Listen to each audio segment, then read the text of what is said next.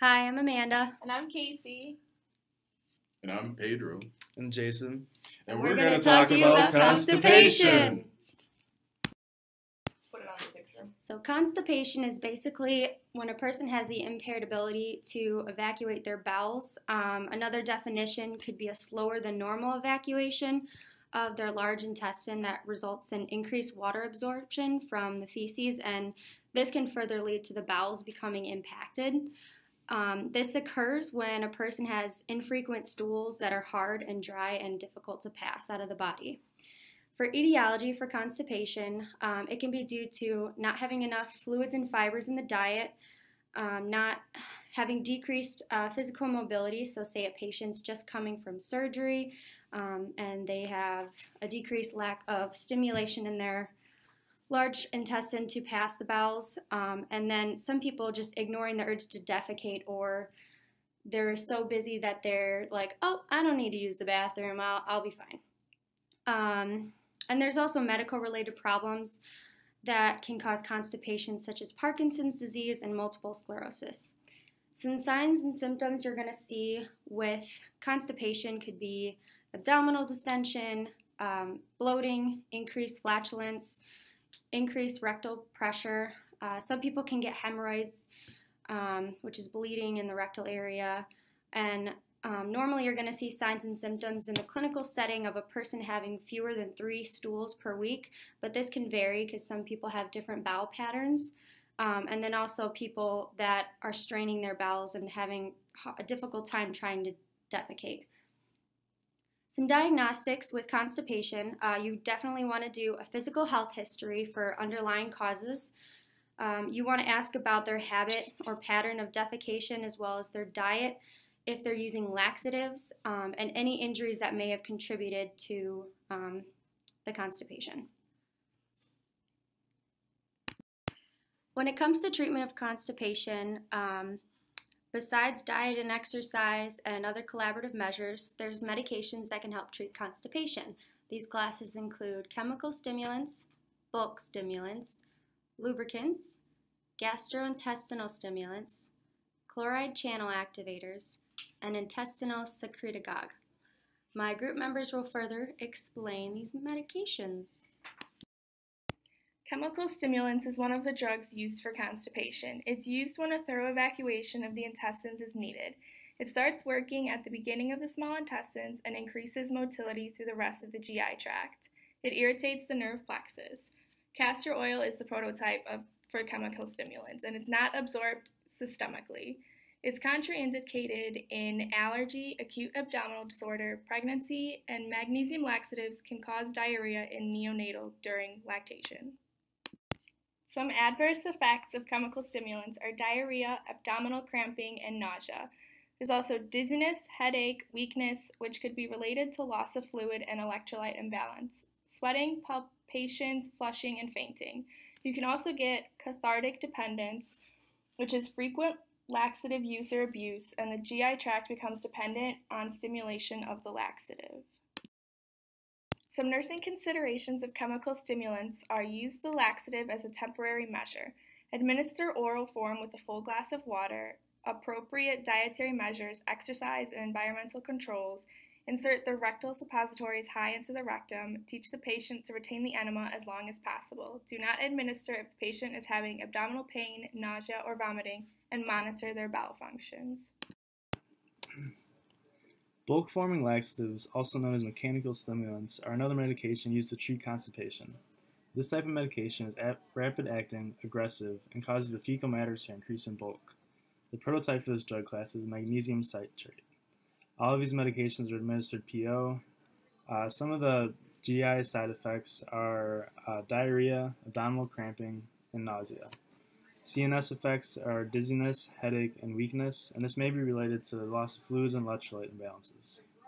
Sweating, palpitations, flushing, and fainting may also be related to uh, the loss of fluid and electrolyte imbalances.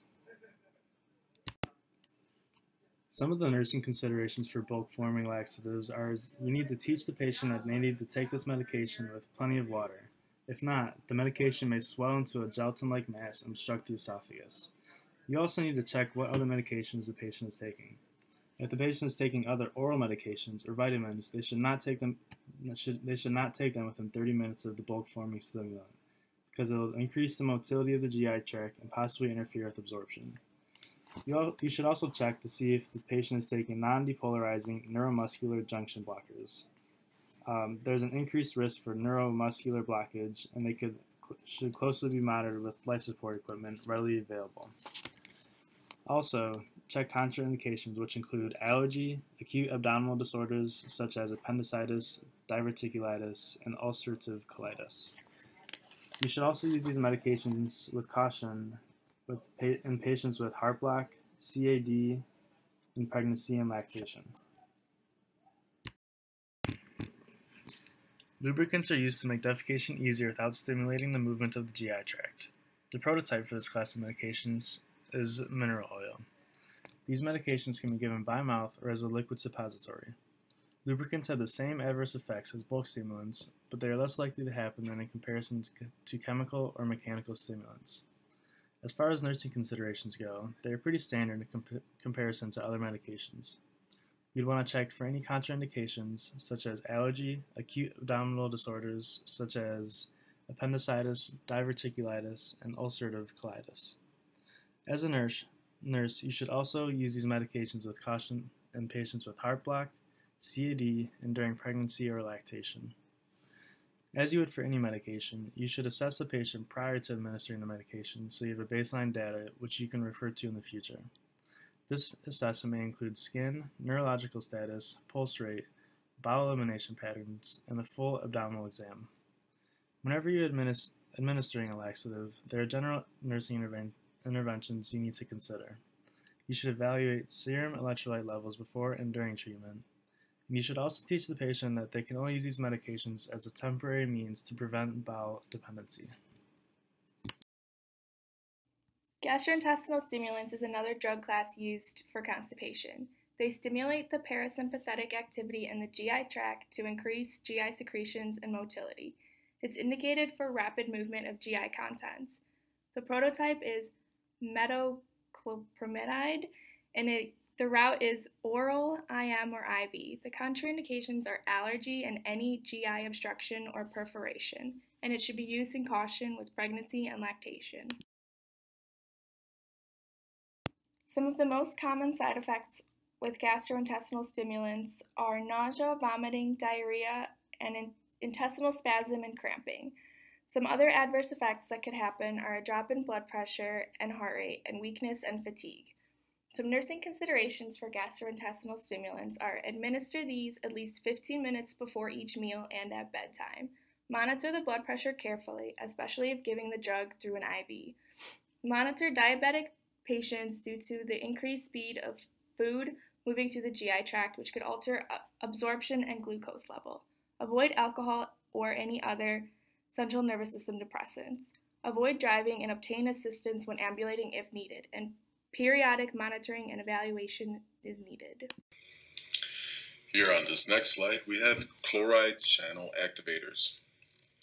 Prototype lubiprostone. This medication is administered orally or PO. It is a locally acting agent that activates the chloride channels in the intestine and increases secretion of intestinal fluid that facilitates the passage of stool. It is used to treat chronic idiopathic constipation. Now, chronic idiopathic constipation is basically someone who has a reduced stool frequency less than three times per week, or a person that has any type of difficulty passing stools regularly.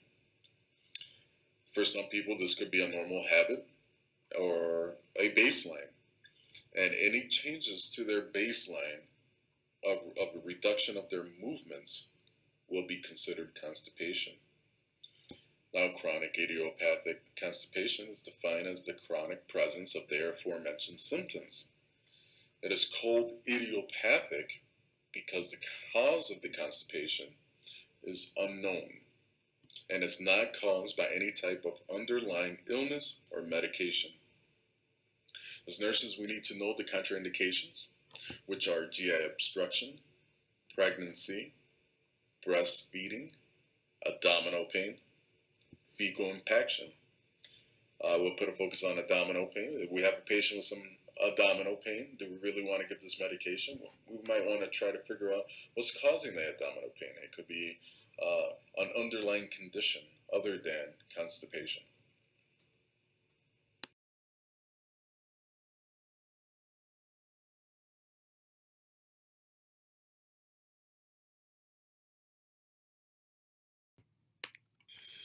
Continuing on on lubiprostone, some of the adverse effects and the most common side effects of this medication are mild nausea, stomach pain, mild diarrhea, bloating, and headache. Some nursing considerations. We need to assess for abdominal pain, any type of distension. We need to administer this medication with food. We need to uh, check frequently for the and evaluate for a therapeutic response such as a decrease in constipation with a positive bowel movement. We also need to look out for the red flags and warning signs that this could be a more serious condition with manifestation, I'm sorry, manifestation markers that include uh, a sudden unexplained weight loss. Uh, someone over the age of 50 and just started having these symptoms that they, didn't have prior in their life. A family history of bowel cancer or inflammatory bowel disease like ulcerative colitis or Crohn's disease. Uh, this a constipation that is not resolved or is not responsive to the treatment, or any type of tarry black stools, which can indicate uh, GI bleeding. The treatment of chronic idiopathic constipation can vary, but generally, the treatment strategies employed by providers will begin with diet and lifestyle changes that the patient can easily incorporate into their daily routine. In the diet plan, the patient will be informed to increase dietary fiber and water intake and to take a healthy intake and balanced food products. On this slide, we have intestinal secretagogues. The prototype, linaclotide. This medication is given orally, PO. The action of this medication increases the intestinal chloride and water secretions, accelerating transit and easing evacuation. Some of the contraindications of this medication is hypersensitivity, infection, and GI obstruction. As with anything else, we want to properly assess our patients for any type of obstructions, for any underlying conditions before administering any uh, constipation medications.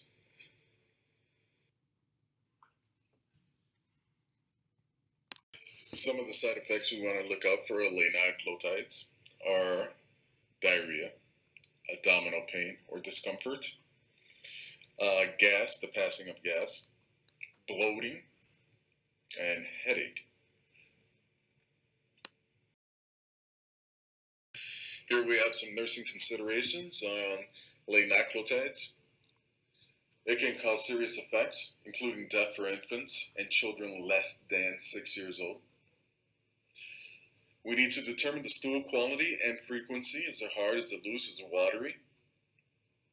We need to check for underlying conditions before administering this medication. We want to advise the patient not to crush, chew, or break the medication, as this could reduce the effectiveness of the medication. We need to avoid uh, the, the use of this medication in pregnant women or women nursing their children uh, via breastfeeding. We need to assess for abdominal pain and any type of GI bleeding, as this can be a great concern of an underlying condition.